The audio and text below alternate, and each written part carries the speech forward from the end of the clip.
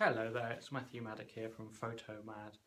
Uh, I started selling the Cactus range of transceivers and speedlights and I know there's a little bit of confusion as to exactly how they work so I thought I'd do a short video, talk you through what they are, what they can do, what they can't do and uh, basically how I use them with the Fujifilm system. Right, so let's get started. This is the transceiver unit here. A transceiver means that it's a transmitter and receiver so that you don't have to buy dedicated units, you just buy uh, multiple transceiver units and they can be used as either a transmitter with the button there or a receiver using this little switch here. Now they're incredibly easy to set up. If you want to use them as a receiver, which is what you would do if you use them on a flash, they have the groups here. So basically to change groups it's as easy as just pressing the group button that you want. You have the menu system here, which is very easy to get into. There's two buttons here, that's the menu button, OK button and a scrolly wheel button.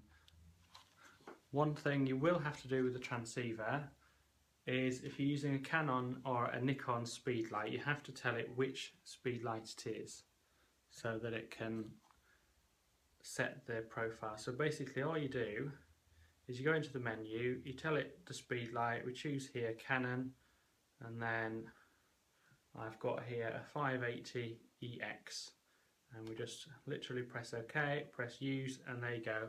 I don't know if you can see that, but it now tells you that there is a Canon 580EX attached to this trigger. Uh, if you want to use it as a trans transmitter, we switch the button over to transmitter Again, the group buttons, you can tell it which ones you want to fire, so we can turn groups on and off as easily as that. Okay, and power is controlled through, let's see if I can get that closer so you can see it. Power is controlled with this dial here, and basically, all you do is, to select the power for channel A, you just have A on, and then you dial in a power setting for that to B, you can change the power for that one, and so on and so forth. Now, once they're all set, if you select all of them and dial the wheel, it'll then proportionally change the power for each channel. So you don't have to then go and dial in each channel. If you just want to bring up the, the light for, for the whole set, all you have to do is just dial that one with all of the channels set. It's literally as easy as that. Now, this isn't a TTL system. So if you're using it on any camera, you have to control the flashes manually. What it does do is it uses the TTL controls in the flash to control the power wirelessly. So I can, change the power of a Canon speed light or a Nikon speed light from the camera using this unit, but it's not a TTL system. So effectively you're using the flashes in manual, which is how I use flashes anyway all the time. The other part to the system is their own dedicated speed light. Okay, and this has a receiver built into it. So if you wanted uh, a one flash system, you could buy one transceiver and one speed light, and from that transceiver we can control the power on this speed light. So to use this, we just select the group. I've already got group A selected on here. So as long as they're on the same channel, hopefully you can see this. If I just dial the dial the power on here can you see the, the power changing on the speed light? And we can do that all from the position of the camera which is the big advantage of it. has a zoom on it. Uh, we have a menu system here so we can change the channel if you have any problems with the radio channels. Uh, we can set it to different optical slave modes or we can set this as a master so it can control other flashes. There's quite a lot to it. it has the typical built-in bounce card and extra diffuser. I also have a set of like the Stofen filters for it. Uh, they come in a white, yellow and blue set so you can change the colour of the flash as well. Right, uh, the next thing I'm going to do is I'm going to set this up so we can see both of these flashes being controlled from one transceiver. Right, so I have here a Cactus V6 transceiver with the Canon 580EX2 speed light. And the first thing we'll do is we'll turn on the speed light and we'll make sure that it's set to TTL mode. Then we'll turn the transceiver to receive mode because we want it to receive the signal from the transmitter that's going through on the camera. I've already set this up to be to tell it that there's a 580EX on here and I have it on channel B because later I'm going to have the cactus flash on channel A so we can show how we can control the two things. Now that's literally all you have to do.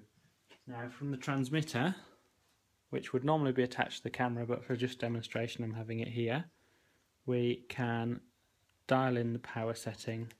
Okay, we've got it on channel B, that's on channel B and I don't know if that's possible to see on the video but as I dial this on the transmitter the power changes on the receiver. Now it works in thirds of stops, so that's 8, 16, 7.7, 16.3, 16. Now if I press the dial button in and then dial it, it goes in full whole stops, so you don't have to spend hours dialing either way. Press it in again and then it goes back down to third stops again. Just to test the power, we just fire it like that. If I go up to full power, does a full power flash, and if I dial it right down, to 128th, it'll do a very small flash. I know that's quite hard to see on the video. Right, the next step is I'll get the Cactus RF60 speed light set up on channel A and we'll show how we can control two speed lights from the same place. So this is the Cactus RF60.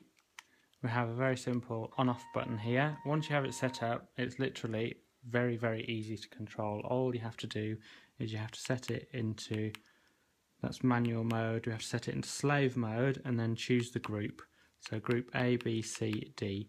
So you can see here on the transmitter, I have group A, B is off, C and D, and I've got them all set to different powers. So as we scroll through here, can see group A is set to a quarter power, group B is turned off, so you get a reflection of what's happening on the transmitter on the speed light itself. So group C is set to an 8th power, which is what it is on here, and group D I've got set to a 16th power. What I want for this, I want this on group A, and that fires. There's a test button on here so we can see that's firing. And from here, if I just want to control group A, I can change the power on here and you can see the power going up and down on the speed light. So all that's done from the position of the camera. So if you've got this set in an awkward place to get to, or if you don't want to be moving around your set on location or even in the studio, you don't have to. You can do everything from the camera, which saves a huge amount of time. Okay, now I'm going to move on. I'm going to set both of the flashes up together and we're just going to show how they both work together, even though they're different speed lights.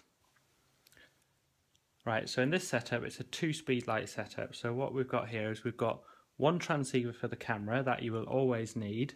We have the Cactus Flash, which has a built-in receiver, so we don't need a transceiver on the bottom of that. And we have the Canon speed light here on a transceiver, which is set to receive mode.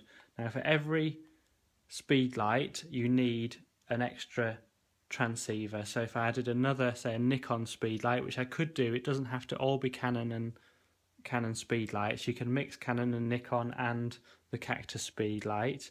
I think there are a few others that work on it as well. I, I have a feeling there's some Pentax ones on there that, that it has profiles for. So just to be clear, because some people think that you maybe only need one transmitter and it will communicate with the speed light directly. It doesn't. You need to have the transceiver on the speed light, unless in the case of the Cactus, it has that receiver built into it.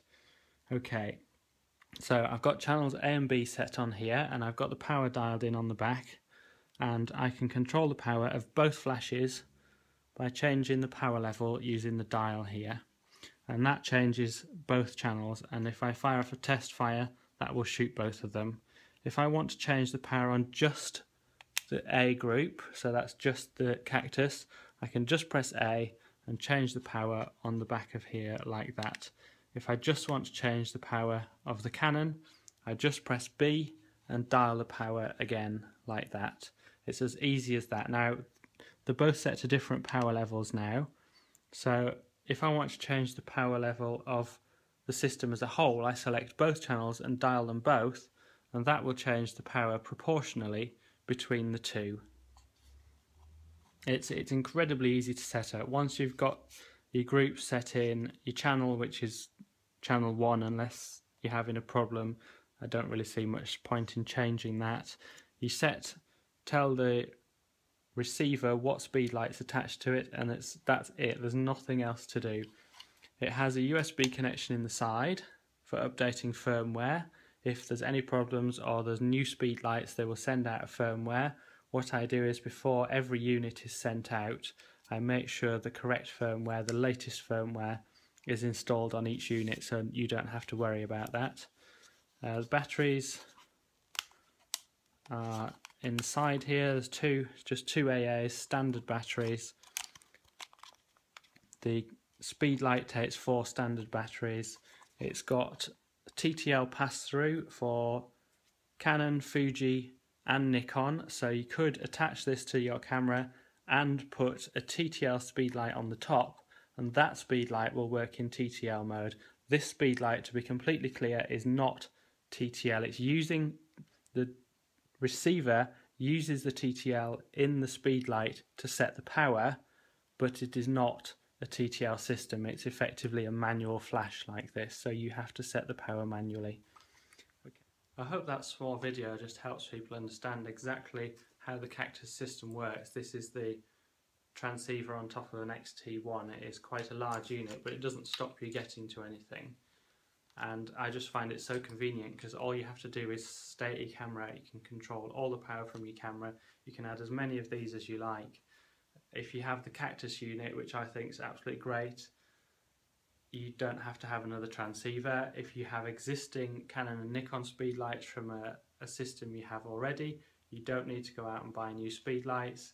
You can control the power from any camera. It doesn't have to be a Fuji, it could be any camera you wanted. So you could have Nikon speedlights on a Canon system, any combination you wanted. I just think it's a fantastic system. It's a great price with so many features and Cactus are very good at supporting it with new updates when necessary.